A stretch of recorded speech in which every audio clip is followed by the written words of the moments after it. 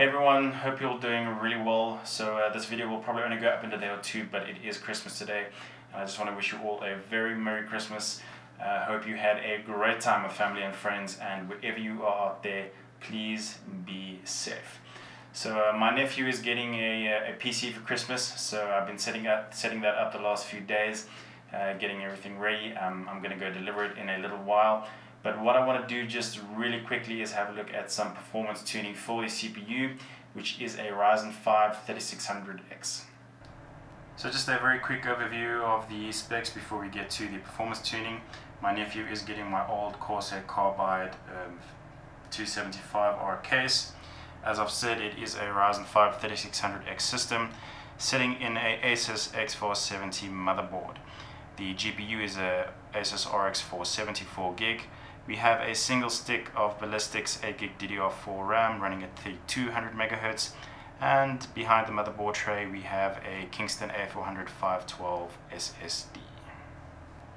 Okay, so what I want to be looking at is I, um, I noticed that uh, firstly everything in the BIOS is set completely to stock settings, default settings. The only thing that has been activated is the XMP profile on the memory. And what I noticed was is that the, the voltages, um, they jump around quite a lot. Now I'm, I'm sure this is normal as the load on the CPU increases and decreases. But what worries me just a little bit is the maximum voltage as we that we can see on the right. And it is going over 1.46 volts. Um, now for me that is just a little bit concerning. Um, I'm sure we can get that done with a bit of tuning and what I'm going to be doing is making use of the CTR utility which is the clock tuner for Ryzen. We're going to give that a run and see what we can do or by how much we can um, increase system performance and also bring down the voltage. So basically in order to use the, uh, the CTR utility there are some things you need to do. Uh, you need to make some changes in the BIOS. Now this is something that you will be able to do uh, fairly easily on your own even if you are not very tech savvy as long as you follow the instructions um, very specifically and you are very careful then you should be fine. I am going to link um, the, the article that I used uh, in the description below.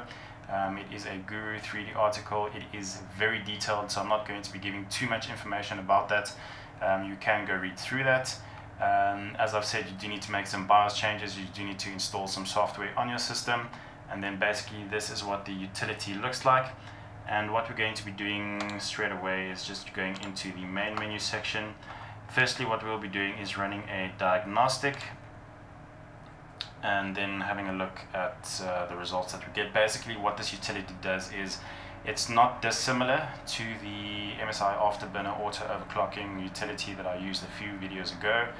It basically tests your CPU to find um, either the maximum stable overclock or the maximum stable undervolt. So you can use this to either overclock or undervolt your CPU um, or you can just keep the settings as is and just see how much uh, performance tuning you can do leaving the system as it is. So in other words, um, reduce voltage until your CPU is stable. And that is what we are going to be doing right now. So the diagnostic is done. Um, it rates your processor. My CPU is apparently a bronze sample, whatever that means. Um, I'm not 100% sure what the energy efficiency, what how the numbers correlate to the CPU uh, but they have given us recommended values for overclocking and for undervolting. And what I'm going to be doing right now is running a thorough um, system system diagnostic slash benchmark. Firstly, what they do is they run a Cinebench default score as a baseline. Then it will do performance tuning for about 15 minutes to half an hour. So this is something that can take a while.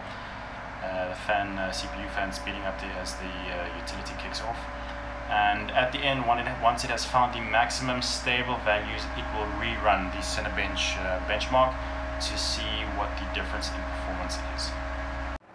So the, the performance tuning is running at the moment. Um, uh, it has gone past the first stage. There was a failure in the overclocking. So what it has done is it has dropped the, the clock speed of the CPU for, for the next uh, stage of testing um, to see whether it can get stable. uh, it will go through these steps a number of times. As we said, it is going to find the minimum stable, the minimum voltage needed to keep the use uh, the CPU stable under the current BIOS settings. So what you may want to do is when you are doing the performance tuning, is you may want to change your, your testing mode uh, from AVX Lite to maybe something a bit more intense if you are going to be using your system for very intense workloads or for very intense gaming sessions. Um, my nephew is going to be using this PC at 1080p for some uh, for some lights to to to mid-range gaming. So I'm feeling happy with these results, but just keep that in mind if you do use this utility. So the performance tuning is done. Uh, the test took roughly, uh, I didn't keep track of time, but say 25 minutes or so. Um, these are the final results. So what we are going to do now is we are going to um, we're going to the profile management and we are going to save this profile. And then what we have also done is we have set the utility to auto load this, prof uh, this profile when Windows boots up. Um, so that when you boot your system this will automatically start running okay? So as we can see the voltage has been locked in at uh, 1.25 volts. That is a drop of 0.21 volts on the maximum. That is that is a lot. I mean uh, anyone who knows anything about overclocking will knows that that is massive. And um, here we have the, the new maximum temperature of 75 um, after it rerun the Cinebench R20 benchmark on the first run this was uh, 79 degrees. So there has been a drop of 4 degrees in the maximum temperature. Um, uh, obviously as a result of the, the voltage being stable now as well. So very uh, very small differences but uh, everything does up in the end. Um, if we can go have a look uh, this system's default score was uh, 3586 and after the tuning was 3624 Again, not massive results, but all we've done is, is tune the processor. And uh, yeah, we can have a look at the, the CPU voltage, which has gone down, which is good. And then the uh, CPU PPT, which has also gone down. So basically, the, the performance gain is very small, but uh, it is there. What's um, a much bigger um, benefit here is obviously the drop in voltage and then also the slight drop in temperature. So very good utility. Um, as far as I know at this moment, this does only support Ryzen 3000 series CPUs. Um, there will hopefully be an update very soon for Ryzen 5000 CPUs. Um, great utility, as I've said, fairly risk-free as long as you are careful. You do not need to be incredibly tech savvy to use this. Um, you just need to follow the instructions very specifically but there are definitely benefits to be had.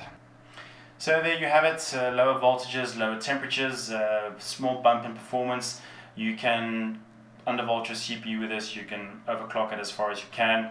There is a lot of uh, performance to be had, a lot of performance tuning, and I think the, the more experienced overclockers will have a lot of fun with this. Obviously you do need to be using an AMD system and a Ryzen 3000 series uh, CPU specifically, although I can almost guarantee that they will have a version of this utility at some stage that supports Ryzen 5000 series CPUs.